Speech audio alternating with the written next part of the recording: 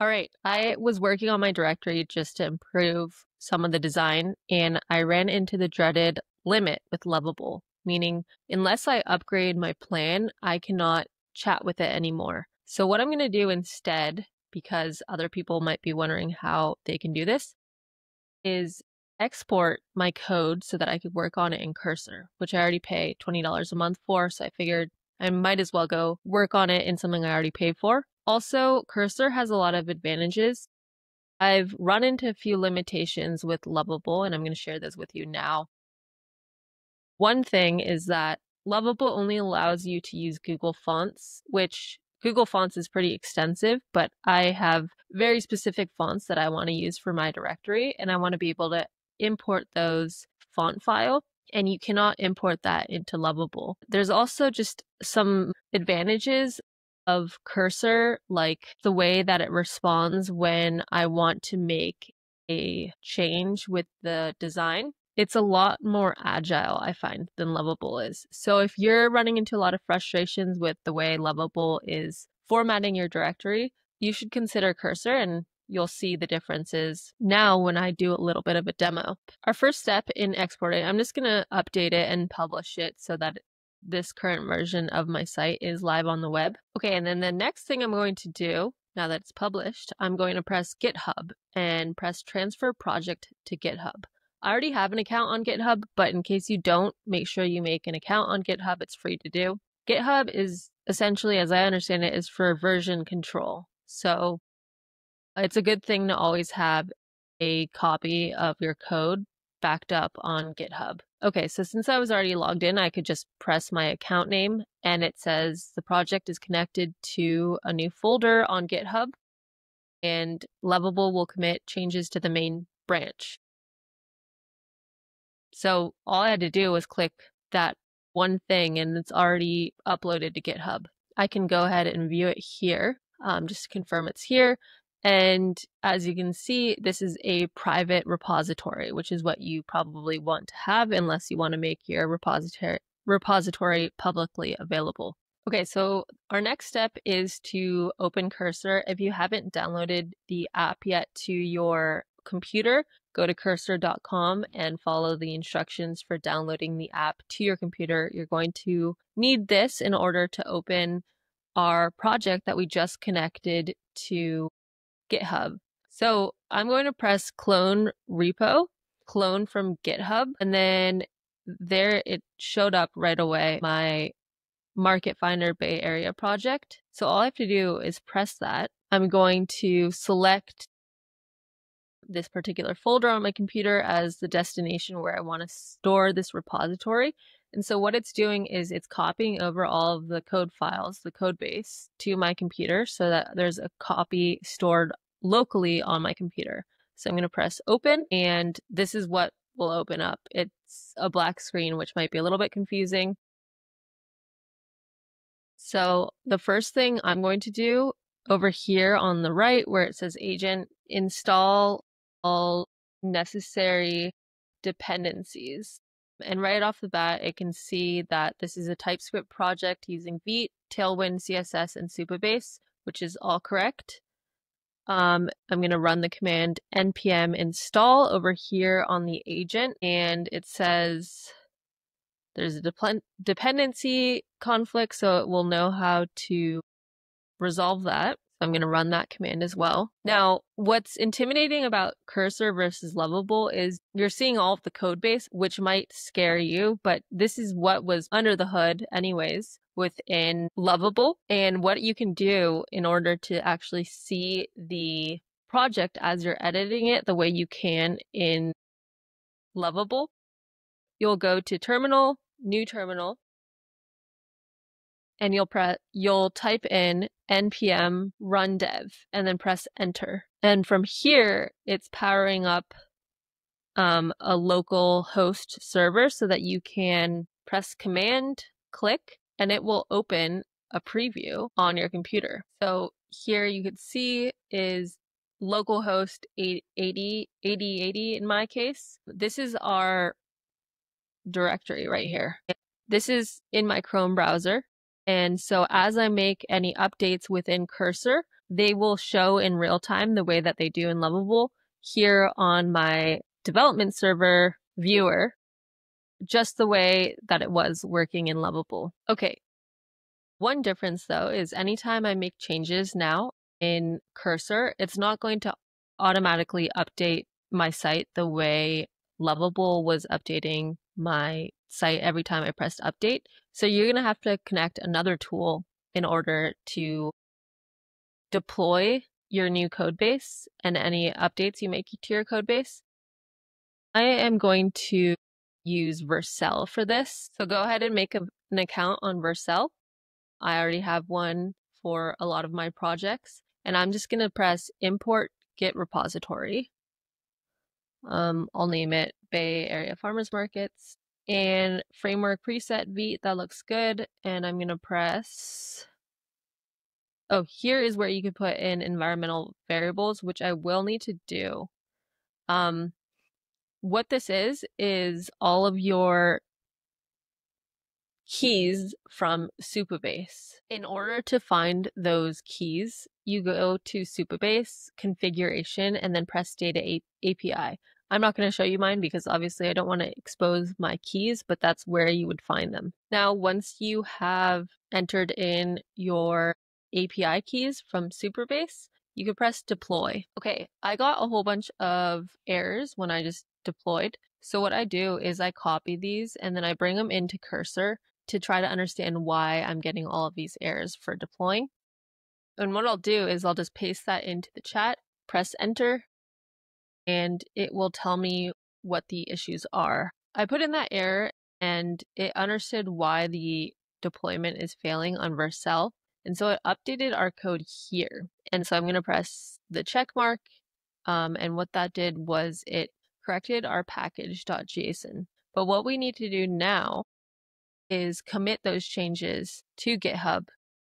So if you go to this icon here in the top left, what you're going to want to do is press commit, press yes to stage those changes to commit them to GitHub. And I'm going to say here you put a little note for what you're changing. Changed, whoops, package lock. So it started writing it for me. So I could just press tab and I'll press up here. There's a check box, accept commit message, and then we'll press push one commits to origin main. We'll press OK, and I believe the changes have been made. So I'm going to go back to Vercel. Here in Vercel, I'm going to try this again. I'm going to press import. I'll just keep the project name the same this time and I'll press deploy. Just want to check and see if it does successfully deploy it, which it looks like it's going to. Um, I will have to go back in and re-enter environment variables because it didn't save them the last time because the deployment wasn't successful. Great. It says I just deployed a new project to low hanging fruit. I can see it right there. And now that we have it on Vercel, I'm actually going to reconnect my domain here on Vercel. So in order to do that, here's my domain right now. I'll push it into production. I'll press add domain. It's going to add both www.bayareafarmersmarkets and without www configure automatically. I'm going to press authorize, authorize and delete conflicts. So it's basically removing from Lovable and it's going to now set it up with Vercel. Great. So it worked here. I'm going to press configure automatically for the www dot. I'm going to authorize it again, mm-hmm. authorize and delete conflicts. Okay. So now our domain is and our entire project has moved from Lovable over to Cursor and it's deployed through Vercel. I do use the paid version of Vercel, but you do get up to, I believe, two projects on Vercel for free, up to a certain amount. So you can always start on the on the free plan for Vercel, and as you scale, you might need to eventually pay for it so you can check out pricing there. Don't forget to add in your environment variables because you're going to need to deploy your site with environment variables, meaning your Supabase API key. We have the resend API key, the Mapbox API key. We'll need all of those in order to properly deploy our website. If you have any questions about your situation specifically, don't hesitate to ask Cursor about your environment variables and what you need to put on Vercel. But be careful about having a .env file with your environment variables within Cursor because you don't want to expose these and upload them to GitHub. So for further for clarification on your unique situation with that, I would encourage you to have a discussion with your agent within Cursor. Now, one last thing to keep in mind, you'll want to deploy directly from Cursor, most likely. So in order to do that, you want to make sure you have Vercel CLI installed, which is npm install dash g space Vercel. So I'm going to run that command in my terminal by just pressing run here. And I can see in the terminal this little animation is happening. So it is installing it. And then I can run Vercel anytime that I do want to deploy my code base. I can do it directly from the terminal by typing Vercel dash dash prod as in production and then just press enter and it says setup and deploy. I'm going to press Y, enter. Which scope should contain your project? Low hanging fruit. Yes. Link it.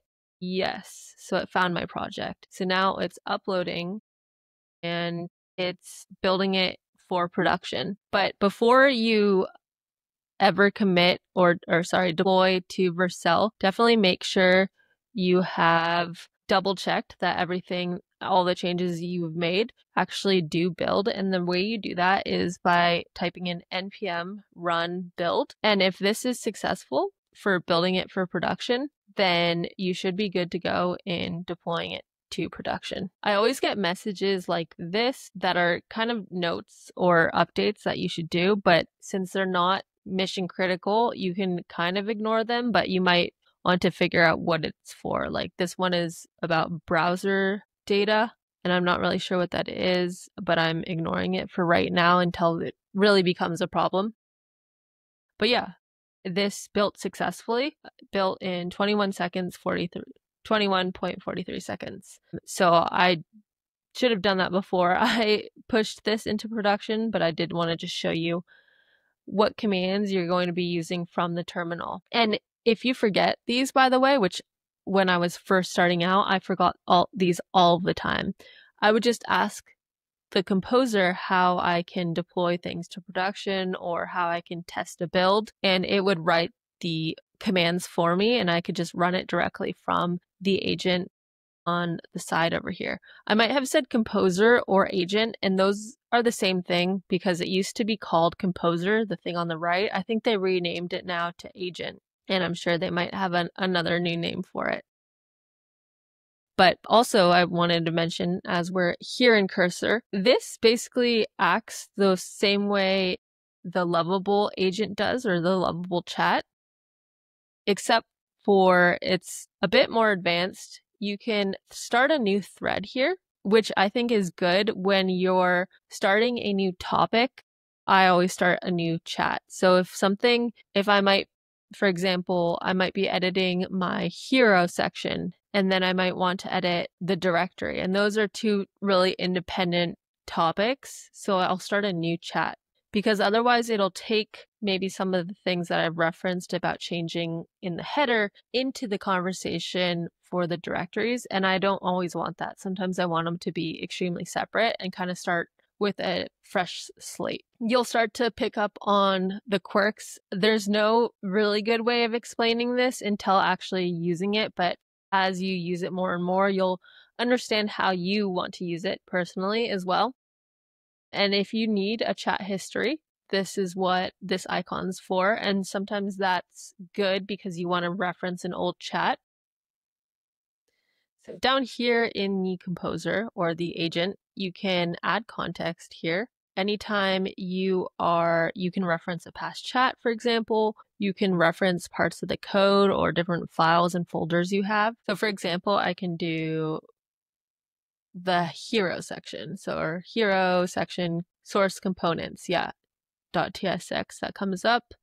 Um, this is actually weird. There's two hero sections. So I'm going to have to look into why that is and figure out which one is the active one. I can actually ask that right now. I'll tag both of them and I'll say, please explain why I have two hero sections and what the difference is. Okay, it looks like there's an accidental duplication during development. So this is definitely a drawback of using AI is duplication, but this is a good way to clean it up and look through your code. So I'm going to say, please delete the version in components hero section. Okay, so I'm to press accept there and it has deleted that file for me. So yeah, it truly looked like that was just a duplicate, a duplicate. So now um, I can only tag the other hero section moving forward as I want to edit different sections. That's how you can add context to your agent.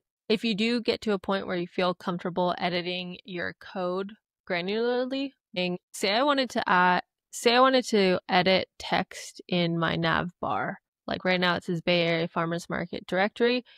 Um, you'll notice you can't actually type and edit that text in this mode. If you come down to the bottom bar here, it says normal. And if you press that,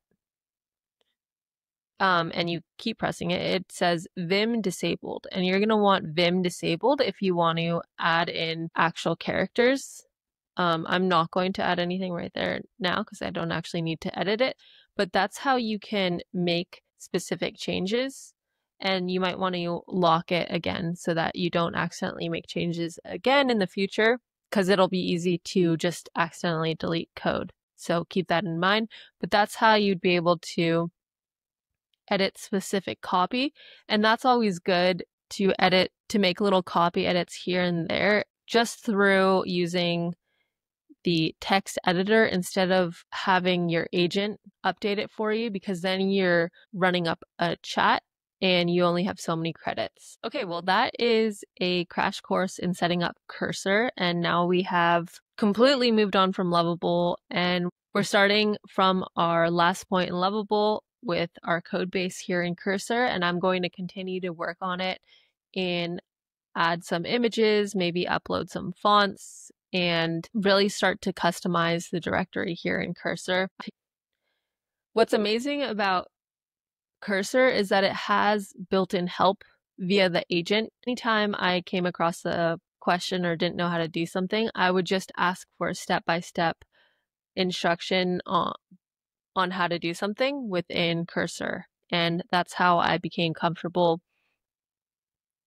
using the program. Okay, good luck with Cursor. If you are using Cursor, you've unlocked the next step in your journey as an AI coder.